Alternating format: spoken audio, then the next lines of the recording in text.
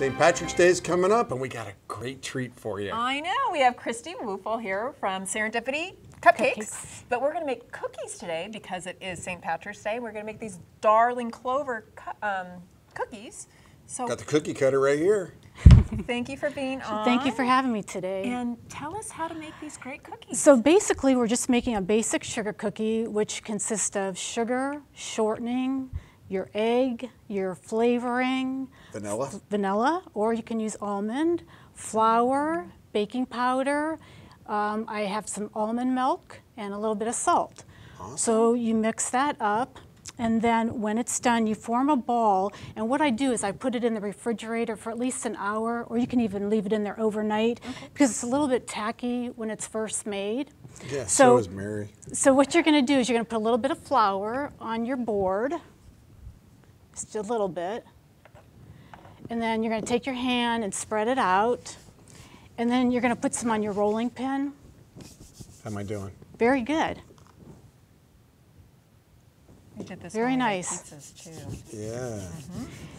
And then you're going to take a little bit of your dough and you're going to roll it out. And I keep the dough a little bit on the thick side, a little bit more. If it's too thin, it might burn in your oven. Oh, yeah. So you don't want that, and plus it'll be a crunchy cookie. You're doing really well. That's very what a good. Simple, fun Is that thick enough? recipe. Yeah, maybe just a little bit, Little bit more. more. Yeah, just a little bit more. Yeah. That's All right. So you that's can really good. Use any shape. exactly. Any, the basic yes. go yes. to. So this is the- the bottom, hmm and you press it in, Okay. and there. Yeah, that's great. Doing a good job. So yeah, I just pull out the excess dough, and then you put it on your cookie sheet. You throw that in there. And you put it on your cookie sheet, and you bake it for about 12 minutes at 375. And then when you So we After they're pretend that they've come out of the oven. Yes, now. they've come out of the oven, and so um, now you want them to cool on a nice wire rack. yes, Once great. once they've cooled, then you're going to want to make your royal icing. Okay. And so that consists of of just a little bit of corn syrup, All right. some flavoring, and for this I used almond. Oh, yes, A little bit of warm water, Okay. and then some confectionery sugar.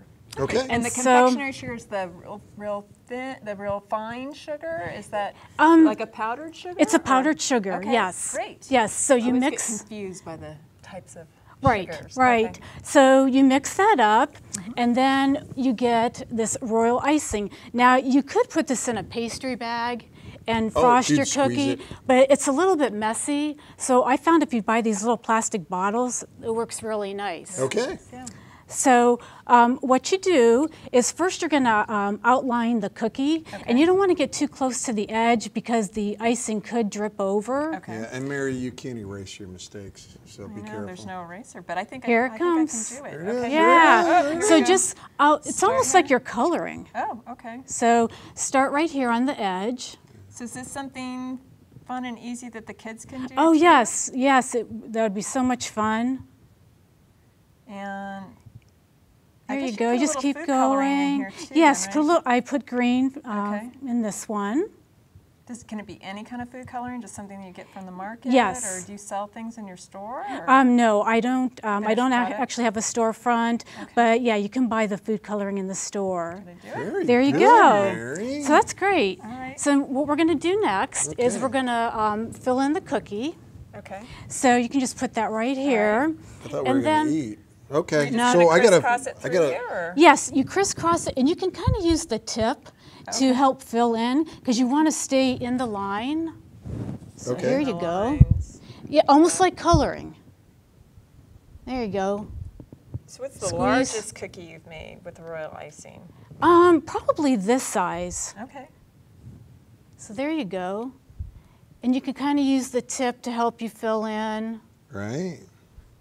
How long did you bake these for? About What 12 minutes, um, about 375 degrees. Okay. So you'll want to check, like say after 10 minutes, you'll want to open the oven and see if they're browning. Yeah, you uh, all want it to you- be all- burned. right, all oven temperatures are different. Okay. So I always check after 10, um, but it usually goes about 12 minutes. You're doing great. Oh, My you're gosh. just saying that because it's true. No. I'm going to hire you next time I have to make these cookies. I bet you get a ton for Christmas and things too. Oh yes, Christmas time's a, a really busy time. And what's nice about these is um, you can freeze them.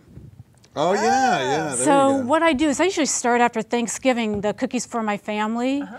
and um, you can freeze them, and yeah, take them out.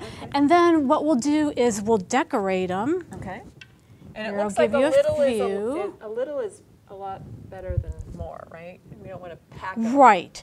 So I put these on one by one, Oh, you do. Oh. and you just kind of drop. 'em- Yeah, it takes a long time, but I want them to look She nice. loves me. She Perfection. loves me. Perfection. She loves me. She, this is. So will you uh, make a lot of these for? Hey, this one's um, got two stuck together. for. Easter too. Oh yes, you can do for Easter. Um, I've made for bridal showers. Now you have these little teeny dots. Yeah, too, you can so- put them in the palm of your hand, okay. and then you know one, you know, just drop them on.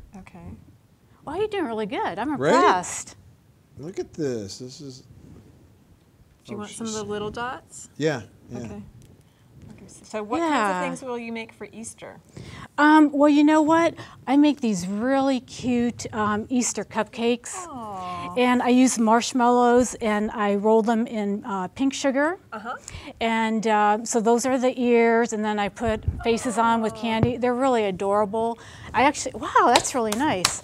Um, I have some photos of that on my Facebook page, Serendipity Oh, Cupcakes. Serendip- so you can, yeah, you can see a lot of the things that I've done um, on my Facebook page and also on my web page. These are There's the finished product. beautiful. Oh, and here's my. So, cookie. and you'll wanna want put more of these you'll want these to dry before you put them in a container to store them. Okay. How long so do a they take to couple, dry? I'd say a couple of hours. Just leave them on your wire rack. Okay. Um, and then when you think they're ready, you can come over and just touch it. If the frosting's hard, Uh, this one looks like it's ready. It is ready to go, and it goes really well with coffee or tea. Oh, I'm we need to- something for our coffee. You got any milk? Oh, here, almond milk.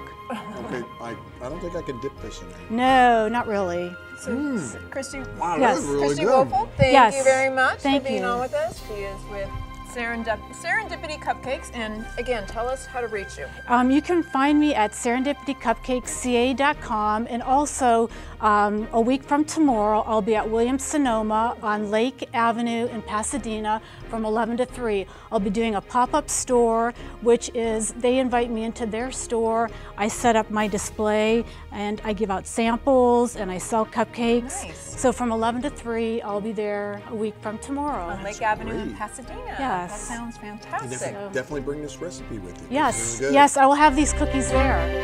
So. Thank you for being on. And Thank thank you you. for watching today. We really appreciate you being on with us. And we'll also want to thank some other people who are on with us today. Tami Devine. Uh, well, uh, we got, we We got Patrick and Celeste. Patrick